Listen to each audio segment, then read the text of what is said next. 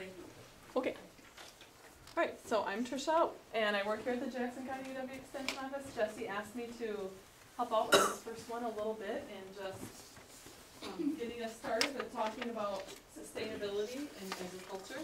Um, so when I went to, when I did my undergraduate and graduate, this topic was big. I mean, that was um, ten plus years ago, but I was at the Nelson Institute for Environmental Studies where I was able to you get to you get to design your own master's degree. So I was in the Department of Agronomy and in the Department of Rural Sociology, and sustainability um, was a big topic then. And now I feel like it's it's kind of a buzzword. It's kind of a popular term, and I think that you've probably all heard of it. Anyone? Have you heard the word sustainability? And so, where have you heard it, or where? Do you think of when? Uh, when you, when Jessie said, come to this workshop on sustainability, know, in agriculture, what imme- what was your immediate thought? What came to mind? You had your hand up there, Mr. Alpner. Um, like steady, like even. So for sustainable beef, sheep and swine production, it'd be like having a steady production of each, not one going over. Yeah, that's one way to think about it. Anybody else? You see it in newspapers or on TV or, don't know, social media? You see the term? Any other things that come to mind, at the top of your head? Anyone wanna share? Well, I didn't think you would wanna share too much, but, um, so what we'll do is, uh, we'll work in pairs. We'll have a group of three there, if that's okay? And then two, two, two, two. And, um, I'm gonna give you just a pack of, sticky notes. And so, um, you'll work together in your pair, but you'll each, um, be writing on your own sticky note there. And, um, give me some ideas that come to mind with regard to, um, sustainable, the term sustainable, uh, when it comes to agriculture. And if, the- if the three of you wanna work together, if you wanna work, um, if you just wanna jot down stuff on your own, no problem. But, um, give me kind of a, your initial thought, or maybe you have an idea of what a definition of sustainable might be. If you could jot that down. We'll just take a few minutes here to do that.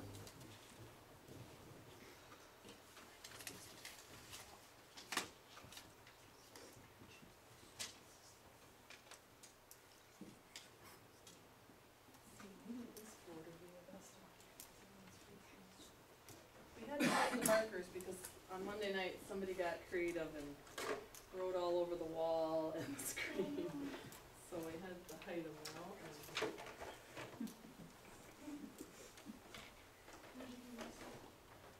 We tried everything. We didn't try the magic, we tried, we tried, you know, the spray and we tried some bleach wipes. Yeah, I don't have the magic. Bring one next to you. So you got a couple minutes there to talk with each other. Shine. Then I'll ask you to share with the group in a minute.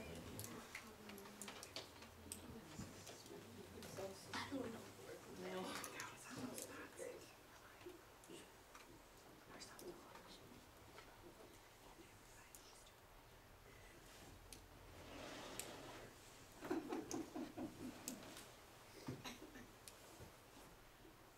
Doing best here. Maybe we should use the projector.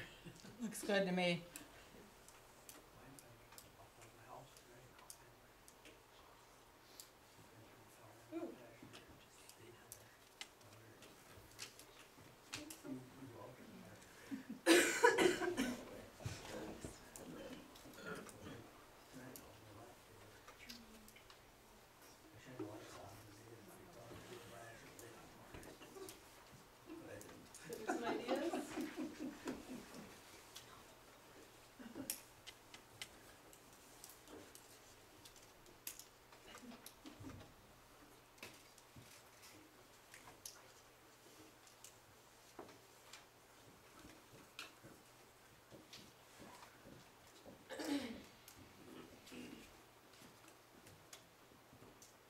them all written down?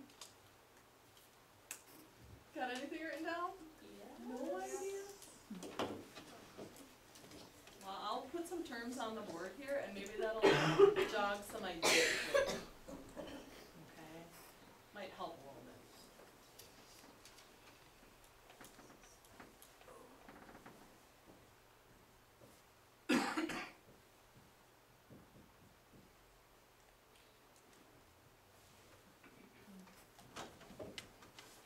Okay, we'll take another minute. Maybe will. Three terms here that.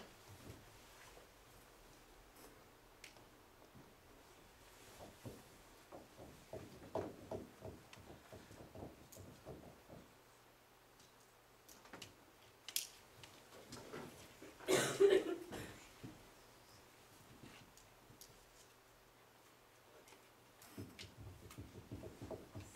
a couple more people writing.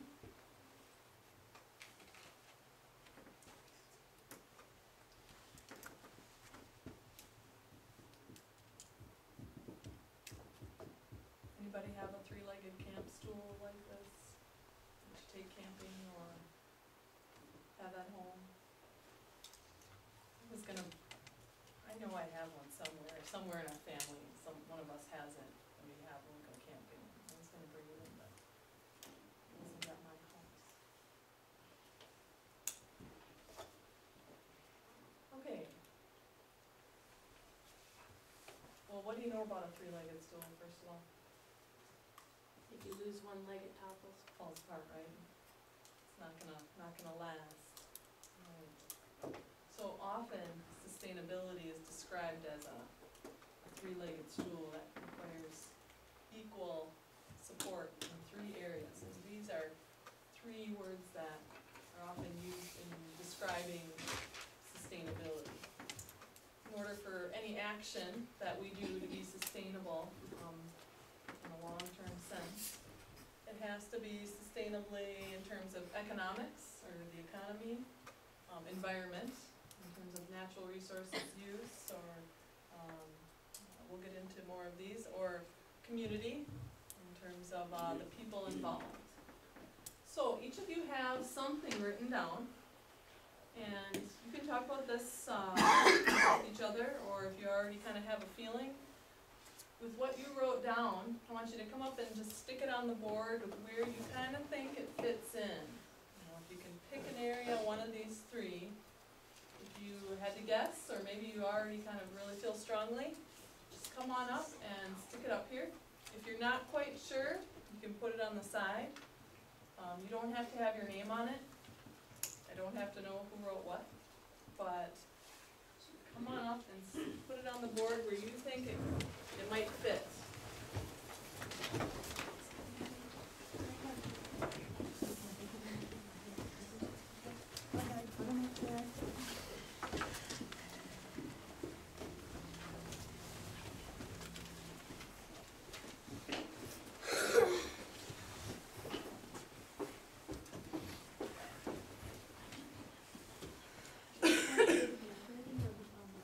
Do I?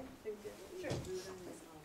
Yeah, yeah, I'll read them and we'll, um, show it to them in the meeting, so that we got a visual of what they're, you know, um, and we can do it. Uh, put on the slide or- Yeah, she's- she's doing it here, and, Alright, thanks everybody. So, um, what we'll do is, uh, I'm gonna read what you wrote, and we'll write them on the board so that everybody can see what was written too, have them up there for the rest of the session, and, uh, then you can, you don't have to try and remember every one that I wrote. So Jessie will be our recorder here tonight. So we have these kind of three concepts that are used often to define sustainability, economy or economic, environment, and community. So we have terms of economy, I'll read the first one here. Um, sustainability means steady, controlled production of material.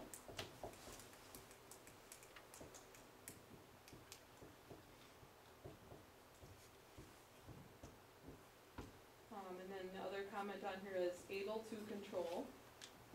Also under economy, this one was all under economy.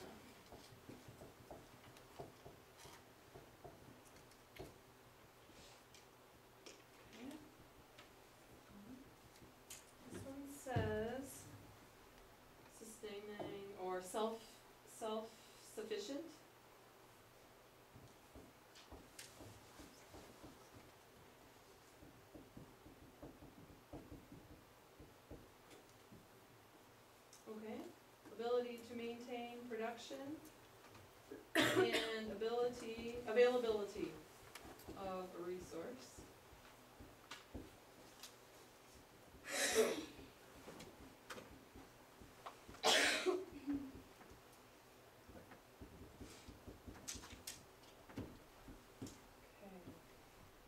Management of a resource so it fulfills the needs of the economy and the environment. Management of a resource so it fulfills the needs of the economy and the environment.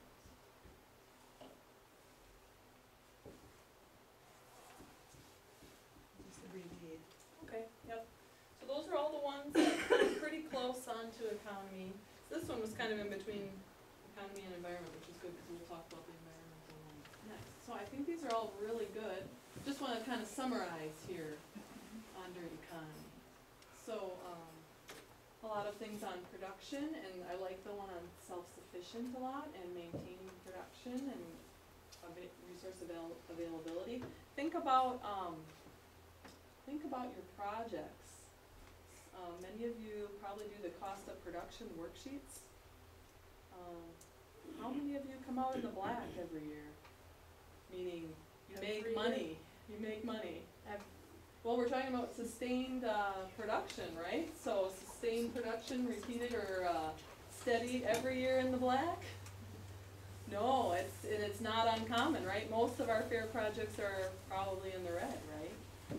And we talk about that a little bit when we do the cost of production worksheets, but if we're talking about economic sustainability, we probably don't have that in a lot of our fair projects, right? But if we were producing livestock as a living, that would be very important that we were, were able to have a sustained, uh, economic project, right? Be in the black a little bit more. So a little bit there on economics. Um, what about environment? I only have one, although the last one was a little bit on, we got a little bit into resource management and meeting the needs of the environment. This one says, something that an animal can live in that is good for them. Okay. Any other thoughts on environment? Jessie said you guys are gonna go visit, uh, Organic Valley. Anybody have any thoughts on organic? Is that sustainable or not? Not really. Not really? Do you wanna elaborate? Well, like, if the farm is organic, they produce less than if they weren't.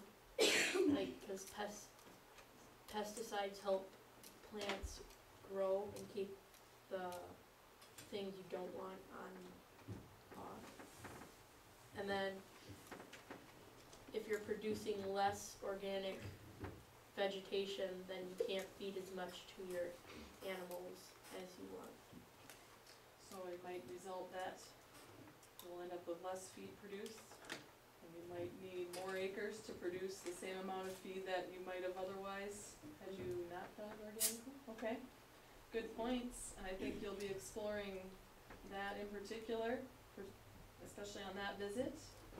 And, um, big, big topic there, yeah, yeah. Um, so, we'll, uh, get into this a little bit more, but in terms of environment, things that come into mind would be things like water, air, what else do we use in agriculture? In terms of natural resources, yeah. Okay, anybody else? Laura? Soil, yeah, those are probably the big three, and in order to be, like we mentioned earlier, a steady production, we need to have those resources available, right? Some of those things might fall under the environment portion of the three-legged stool, natural resources that we use. And of course, we use a lot of other things too for livestock production, and we can get into more details of those over the next um, few visits and field trips. Okay, so community, we have a few that are kinda like out here, maybe they weren't exactly sure if they fell on the community three-legged stool, or you just put them over to the side, weren't quite sure. Um, long-lasting ability to conserve a resource, okay, and so maybe that one could fall under, um, a little bit of all three, really, but, um, In terms of community, if I were to think about this one, I might say, um, if you're working on a farm as an employee, and you say, you know, I'm just not getting a fair pay here, are you gonna stay working on the farm? No, Yeah, um, so like, in terms of sustainability for our community, things like, you know, um, fair wages for our workers that come into play there. Um, what about, uh, why are we producing livestock in the long, long run? What's the end game? What's the whole point of, you know, growing a, your animals? Who is the, in the end, we have a person who buys them and does what with them? Yeah, we have consumers, right?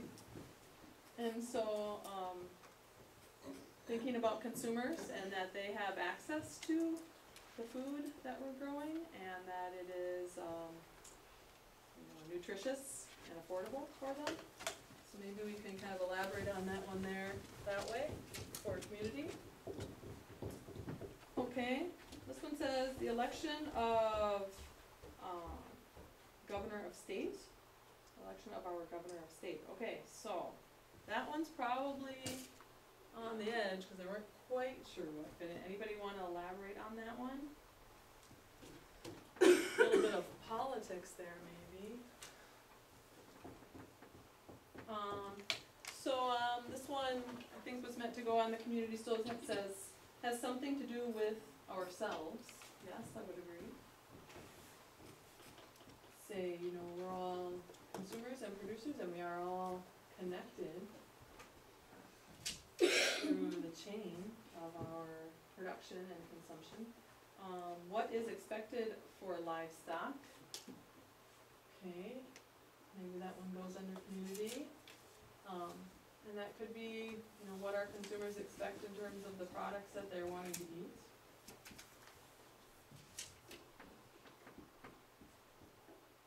Yeah, Trent, um, for that last one, what is expected for livestock, for consumers?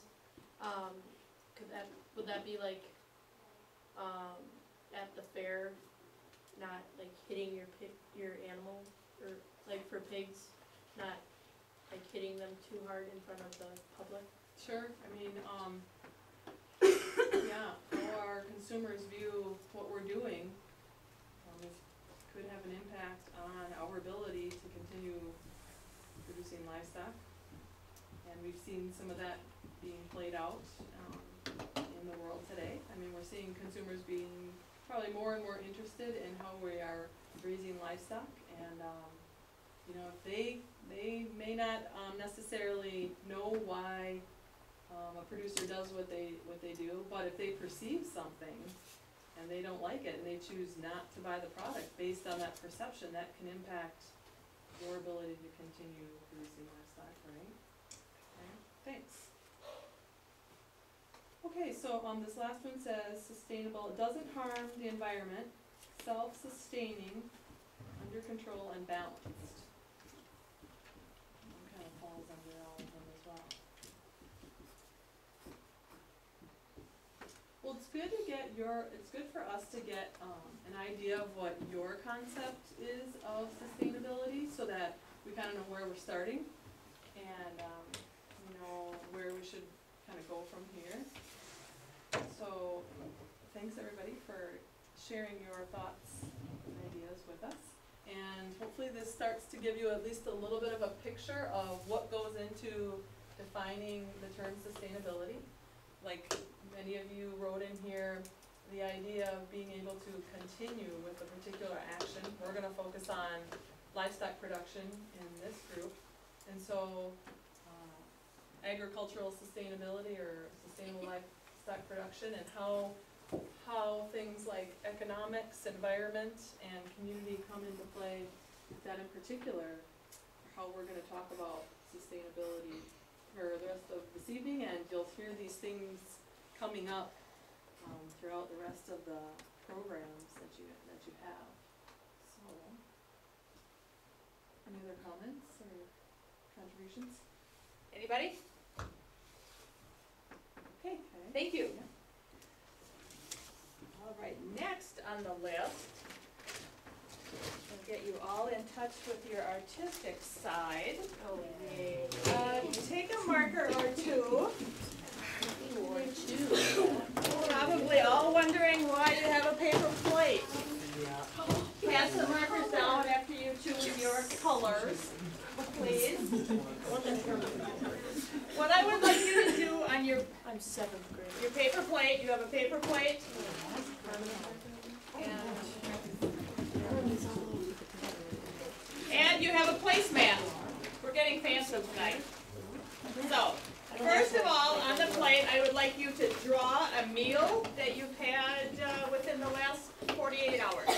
Forty-eight hours. a meal that you've had in the last two days. And then, I want you to take your placemat and see if you can figure out where each of those ingredients in that meal came from. You'll see that you've got the United States on one side, and you've got a world map on the other side.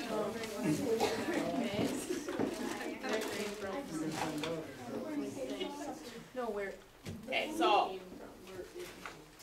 I don't want you to tell me your food came from a restaurant or the grocery store, because we all know better than that by now, right?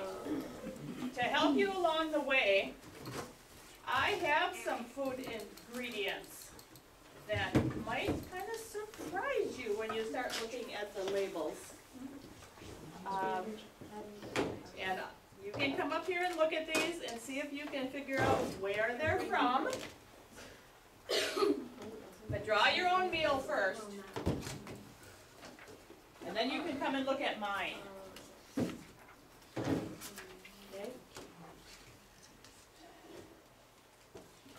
I know you all have eaten a meal within the last forty-eight hours. No.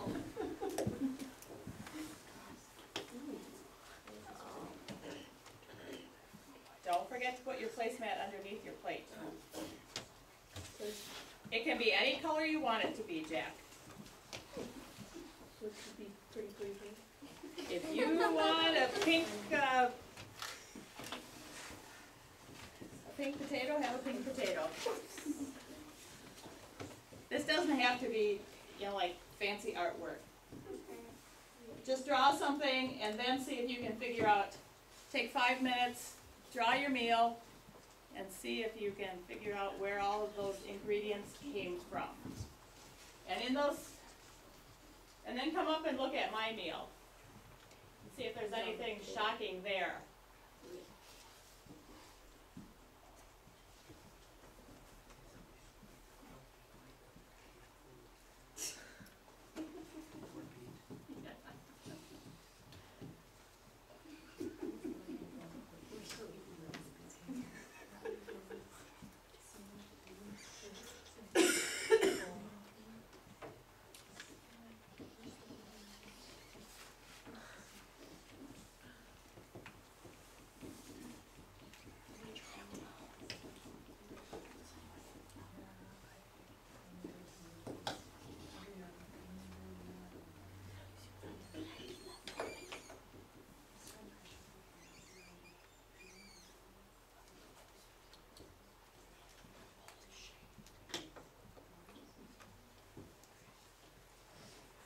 Better cooks than this.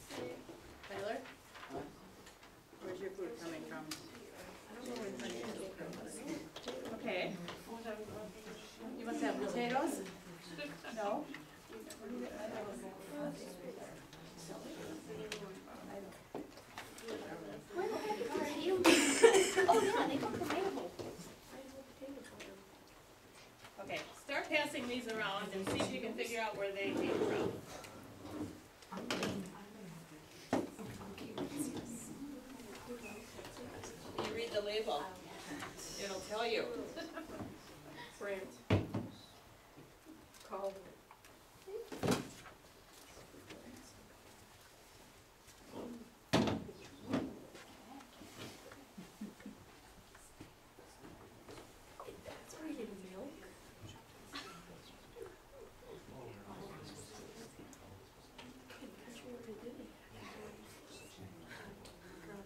Put an X, put an X if you know where your food came from. Put an X on the map. Or dot.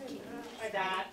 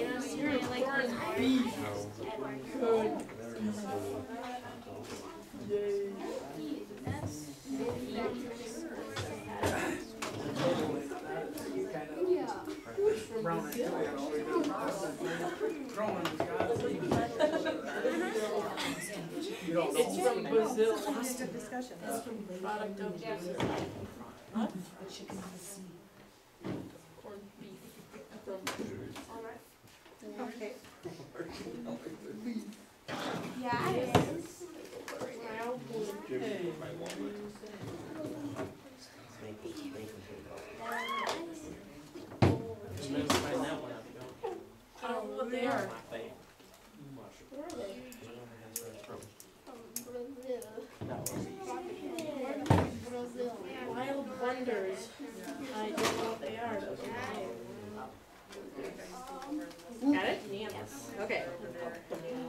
Oh, no, not mushrooms. These are watermelons. Abby, what did you have? What's your meal? Um, these are all Okay, That's like their okay. Their income relies on bananas and This coffee. is from the same place No. Ah. Ah. Brazil is the biggest country in South America, the wide eye. I don't take that class. Okay. Grapes come from anywhere. Oh, it's from San Diego. If they're like exotic grapes, they would be probably Italy. Ow. Well, they're not exotic grapes. They're just grapes. Well, they come from California or Louisiana. Or Mexico. You never know where grapes are from. I know, that's the point in having grapes labeled. Did you just have that on a loud? Metallic chicken leg. Okay, let's wrap this up. You all have done a really nice job of drawing your meal.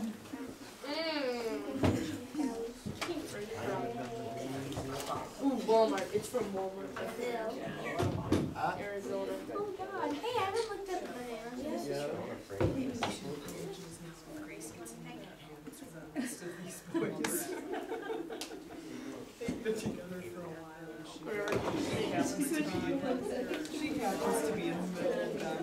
Okay?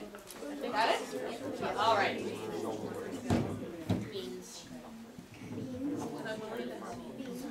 Oh, God, is this over Michigan? Okay, I'll take all the food back, please.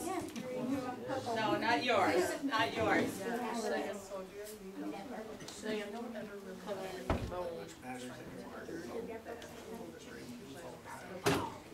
Okay, could you all tell where your food came from? Kind of. Kind of. Kind of. What do you mean, kind of? Half and half.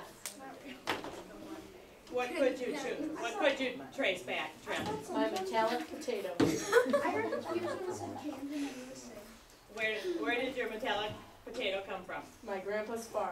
All right, good. So that's what we call eating local, huh? Yes. All right. Anybody else able to tell where any part of their meal came from? It's a store. Franny?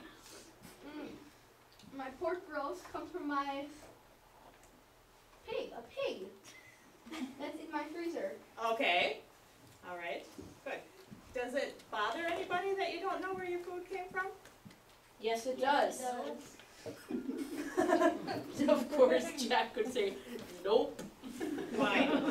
Why does it bother you? Cause what if it's from like China or India? They've got, I don't know, it's- it'd be like shipped over the ocean. Okay, what'd you find out on the corned beef? I bought this for a It's in reason, Brazil. and it wasn't to eat it. Of course it wasn't. That's a good idea, Jessie. That's, What does it say? it's from Brazil. Product of Brazil, packed under Brazilian government inspection. That means it was probably done, it was probably made by slaves from Brazil. Way to think. Way to be So, positive. do we have any idea what the, the inspection standards are in Brazil? No, they could be No. nothing. They could just be standing there playing their phone, playing Candy Crush. Okay, thanks, Trent. All right, um, so, Franny, your pork that's in your freezer, do you know if that was inspected? It could have been. Well, no, it came probably, it came from Wisconsin. It probably was inspected, Okay. knowing the law. Do we have a little bit better idea of inspection in Wisconsin versus Brazil? How many of you wanna come and eat this one and fix it? No. All right, um, tuna fish, how many of you eat tuna fish? Where'd this come from? California. Thailand. Thailand. Really? I don't want it. I What do we know about tuna production in Thailand? Terrible. We don't know, do we? Is there a message here? Tomatoes, where were they? Mexico. In a greenhouse in Mexico. Uh, Wild, what are wild wonders? they're Fancy tomatoes. Oh, How about the bananas? Trisha told me a story about bananas and I might not ever eat them again. Where, Carter? Guatemala. Guatemala, Ooh, yes. ooh, what's, I want, one, I wanna hear the story, and two, Guatemala pretty much lives off of bananas. Yeah, I mean, you've probably heard the term the banana belt, or the banana republics, that's all the way down to like, my banana came from Ecuador, where I, the ones I ate this morning, and I lived in Ecuador as a Peace Corps volunteer and got to see banana production up close and personal, and they use a lot of pesticides, um, which, you know, like Trent said, pesticides are a tool that we use here. And I think the point Jessie's making is here, today, in this room, we had twenty farmers go through the pesticide applicator training certification. It's a certification that farmers in Wisconsin and all across our country have to go through every five years. They have to get their certification and then recertify. So they take a class, they have to pass an exam. And that allows them to purchase chemicals and to apply chemicals. So there's some pretty strict standards here that require a strong understanding of, of how to use pesticides. In Ecuador, there was nothing like that. And here we learn a lot about personal protective equipment when you're, um, using pesticides, for example.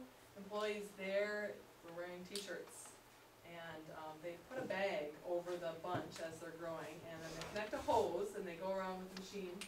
They spray a bunch of chemicals in the bag. Bag stays on until the bunch, you know, gets about mature size, they're, they're still green. Then the crew comes in and they yank the bags off and they throw them on the ground. And they go into the rivers and the creeks and rainforests, and, um, there is no regulations.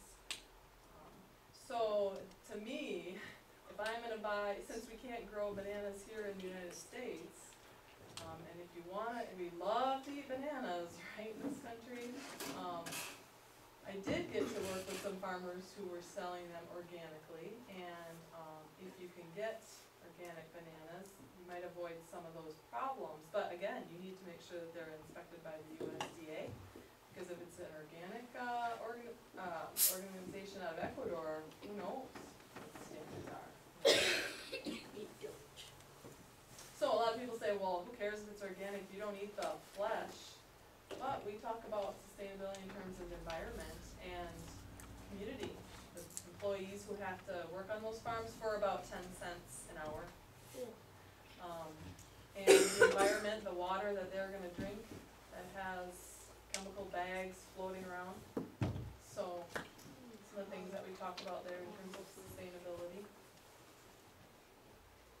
So how many of your meals were sustainable?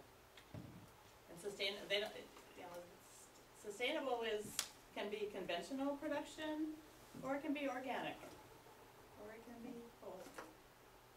Your meals were sustainable? Okay. Anything shock you here? Yes. Y'all gonna go home and read labels now? And only, and only eat from the garden and the freezer? Check. No. All right.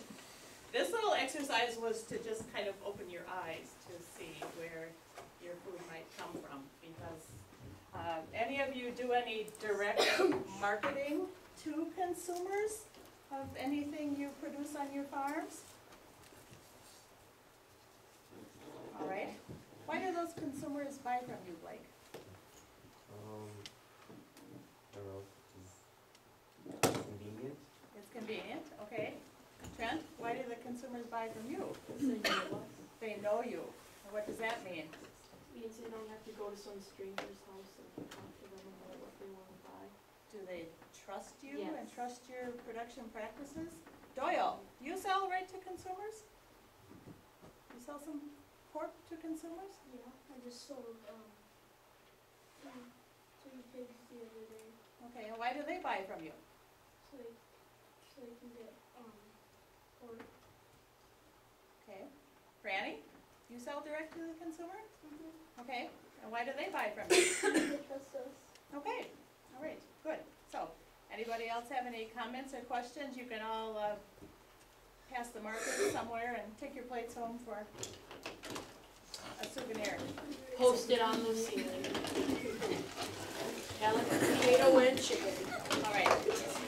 The, the last thing that we're going to do tonight, or maybe I should say the next thing, is I have a little PowerPoint to share with you.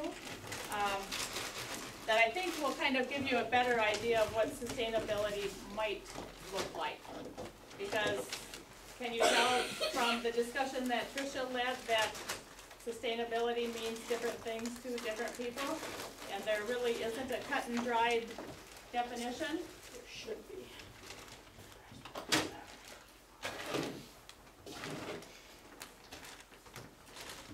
All right.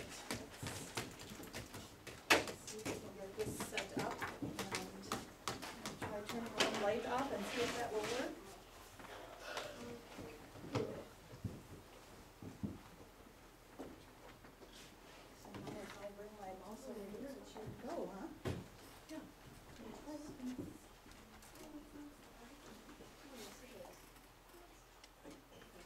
Can anybody see this?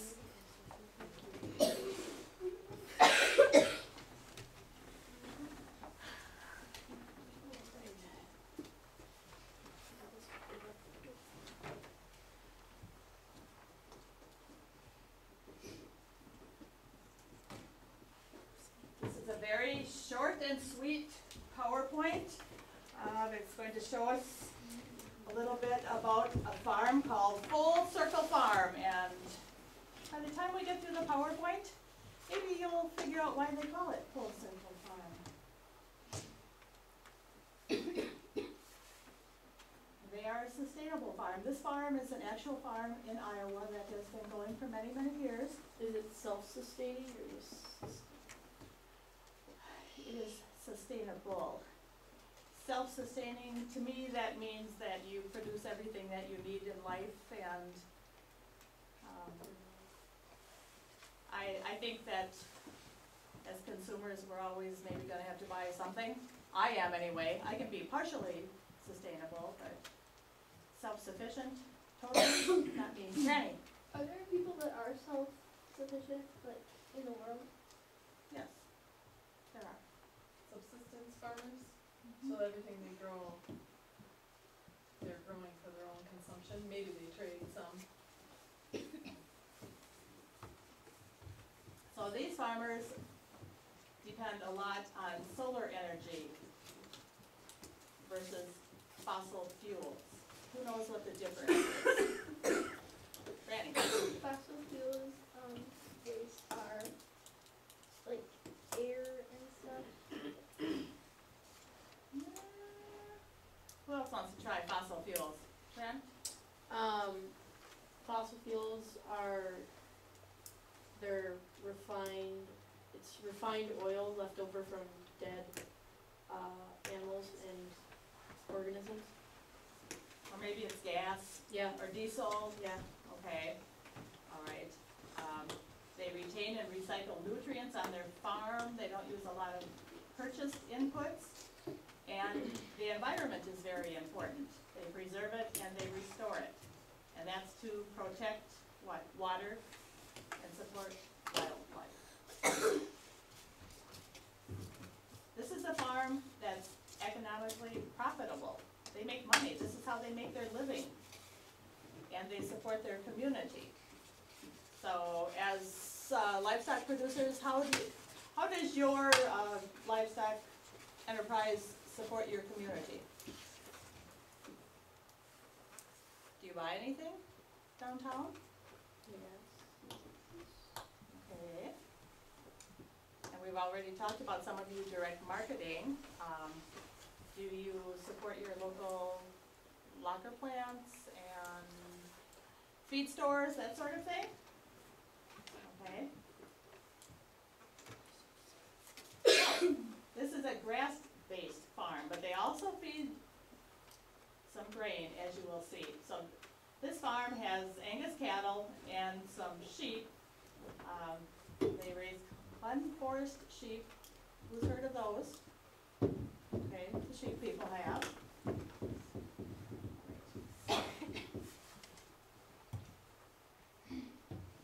Like I said, they use as much pasture as they can because grass captures solar energy. And the cattle consume the grass and they fertilize the pasture with their manure. So they are really recycling those plant nutrients, aren't they? Um, they're eating grass. Do humans eat much grass? No. So they are consuming a resource that we don't eat directly, do we? Okay.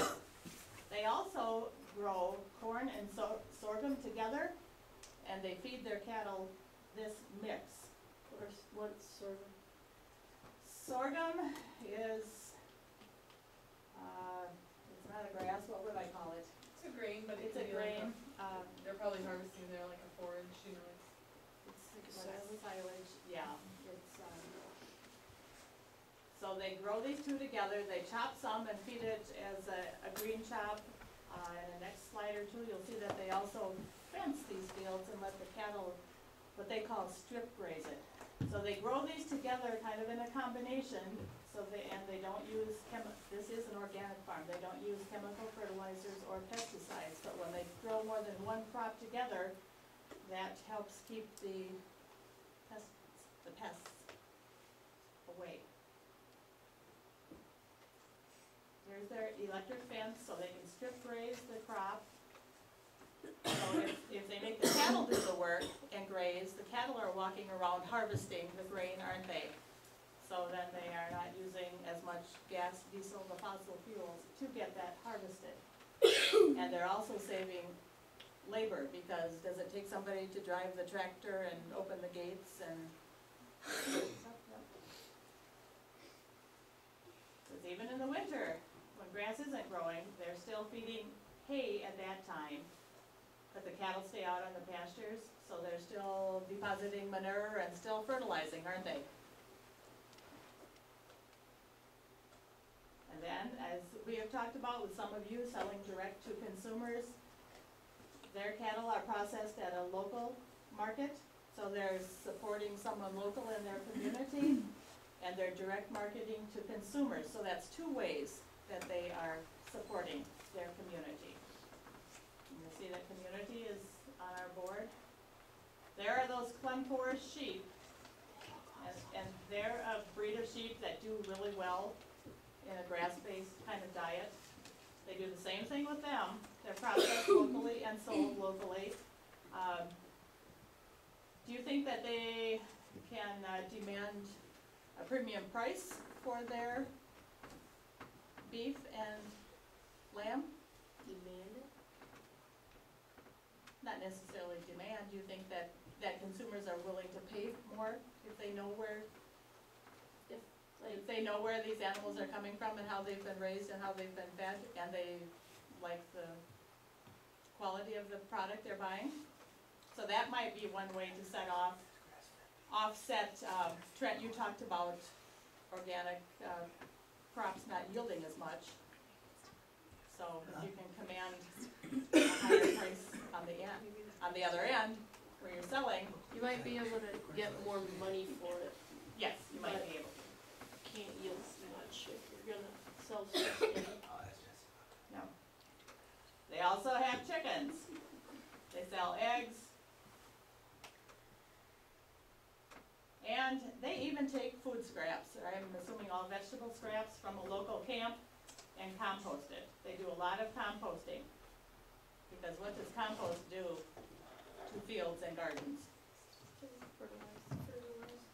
Is that also something that's benefiting their community and their environment? They're taking garbage from a camp that they would throw away and turning it into food for their soil.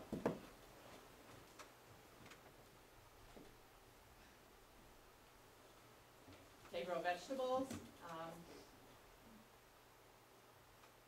and they sell them through a CSA. Anybody know what a CSA is?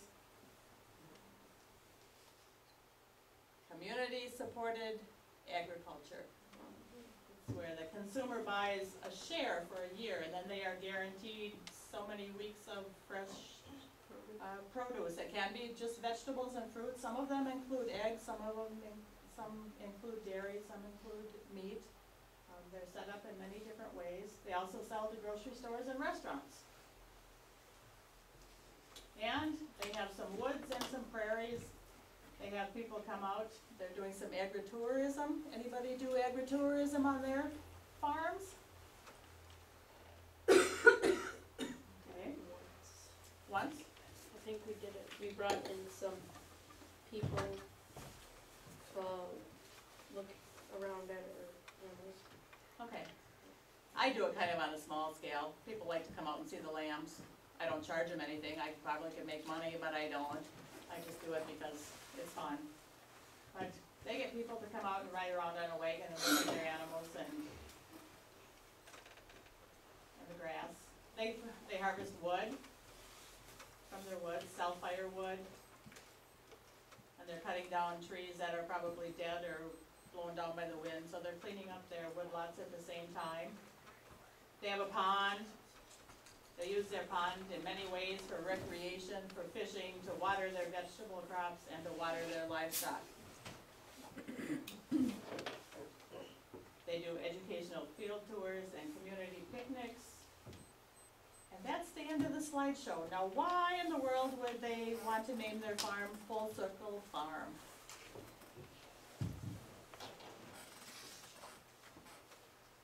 Why do you think? They produce a lot of their own and like recycle So is it a Yeah. circle? mostly, yeah, like in their community. They In do it, lo- they produce and sell locally. In their community? Um, how about environmentally? Are they doing a circle there? Mm-hmm. How? They're growing the crops and then they're distributing it and eating it. And then they're, um, the scraps they use as composting. Okay, and how about spreading manure? How Um, are they doing that? organically, they have their cattle out on pasture year, year round and then they, it, so, Okay. And how about the full circle with the economic portion of sustainability? Are they making enough to support their family? Okay. All right. Questions, comments? You have one more handout, I think? Does this give you an idea of what sustainable might be?